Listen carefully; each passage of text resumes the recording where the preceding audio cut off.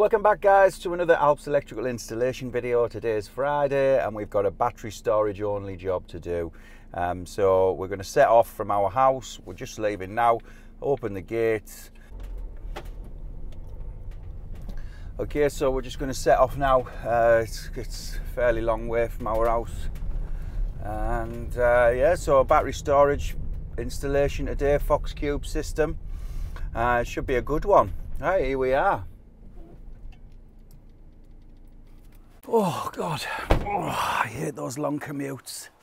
Right, let's have a look at the job.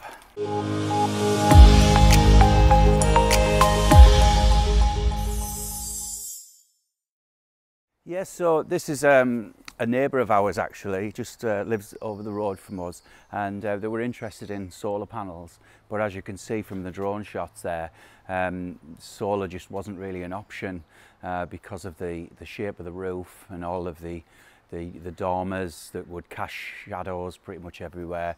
We've got great big trees all around. It just, it just wasn't really an option uh, for the orientation as well. Um, but obviously the next best thing is battery storage because this customer does have an EV car as well.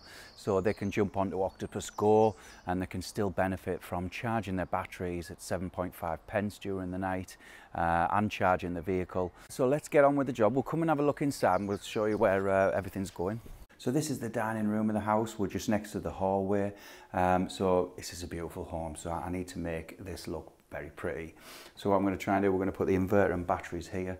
There's literally the only option and it's because the electric cupboard is literally in here. I'm going to probably put the isolator on that side just to keep everything just as neat as possible. Inverter, batteries is all I want to see. And we're going with the Fox Cube system, which looks really smart. I mean, in here, it'll probably look like some sort of hi-fi system. Um, they're going for um, one master and three slaves of the 2.9 kilowatt hours each. So that's a total of 11.52 kilowatt hours, which is going to make a significant difference to, um, to their energy bills, basically, because they do have quite high energy bills here. Um, they do have the EV car as well, so they're moved on to Octopus Go and they're going to obviously charge these batteries at 7.5 pence at night. So that's going to make a big difference. And I think their usage is around, uh, I think they said about 13 or 15 a day without the EV. So 11.52 kilowatt hours of battery should almost cover them throughout the day if they charge them to 100% every night. But like I've, I've said in previous videos, the amount of battery storage to go for, it's always a good idea to be conservative. You know, don't go diving in and putting a load of battery storage in that you might not fill or require go conservative. After six months, check how your data is going, and then you can always add to it a little bit more as you go. Um, so we're going to make a start. We're going to get the batteries in, and get them out of the boxes, stack them, position the inverter, get that done, and we're going to work backwards.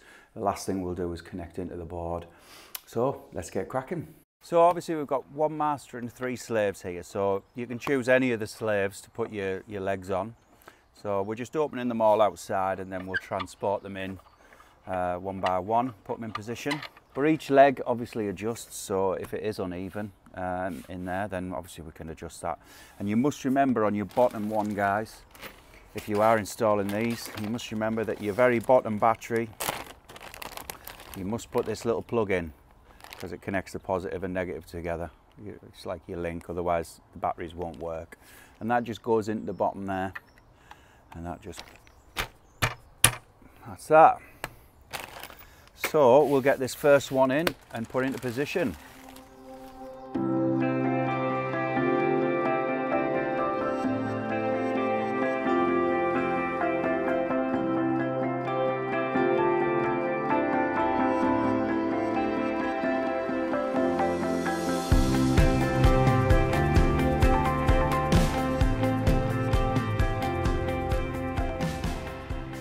So that's the full stack. Uh, we've got the, the three slaves and then the BMS on top. And if you don't already know, the BMS is battery management system. So this also contains the same size battery as these modules, but also the brains as well. So this is the unit that communicates with the inverter.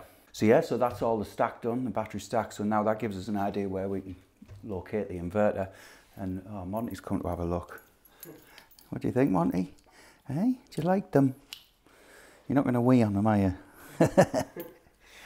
so yeah, so we want to locate this inverter uh, not too high, not too low, because uh, you know they may want to add to these, and that is the fantastic thing about these cubes. I mean, look, this does not look out of place in this dining room. I mean, you know, it's uh, it's it's a nice looking battery system, so so easy to install. You saw there how easy that was to just sit them on top of each other.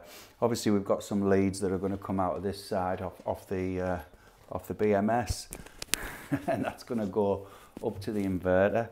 Um, and then if the customer ever wanted to add any more modules, take off the BMS, put an extra module on and put the BMS back on. So these are a brilliant system and they come in different size modules as well. These are the 2.9 kilowatt hours. You can get them in about five different sizes, 4.1, 4.3, 4.8, 2.9, I, can't remember them all, but you get them in all different sizes. So they're really, really flexible and really good for going forward in the future should you need more storage.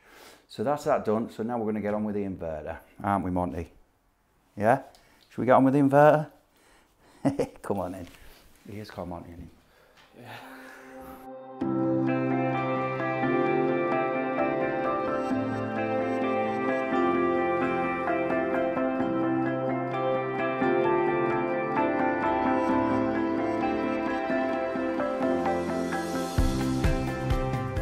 Okay, so now we've obviously got the battery modules in place, we've got the inverter on the wall as well, and we've just connected the uh, cables that run from the inverter to the BMS.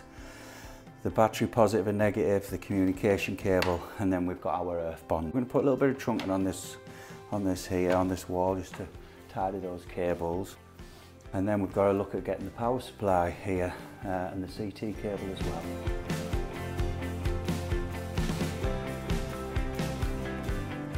So inside the electric cupboard here, uh, we've got the main cutout just down below here. And then obviously we've got this nice Lewden RCBO consumer unit uh, that's conveniently there ready for me to add an RCBO in there for the inverter. So it's a 3.7 kilowatt AC coupled inverter that we're putting in. Uh, but I'm going to put a 6 mil cable in here on a 20 amp RCBO and so if we put the AC isolator here and then obviously our AC cable straight out of that, maybe in some flexible conduit into the inverter so it looks nice and neat. And then obviously we need the CT clamp as well to go down here and, and cover the main line. Uh, so that's going to run the inverter as well.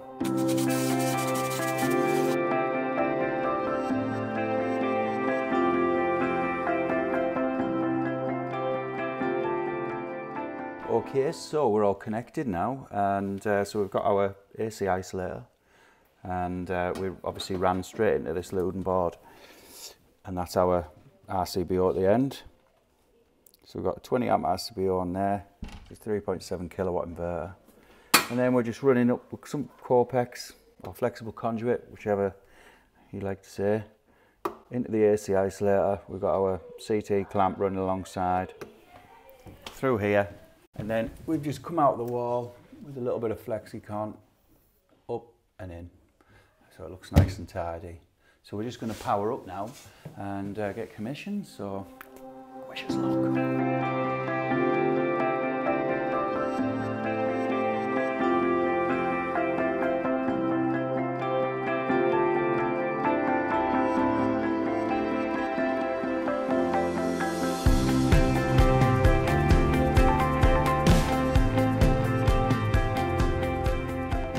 So that's it, we're all commissioned, the system is up and running.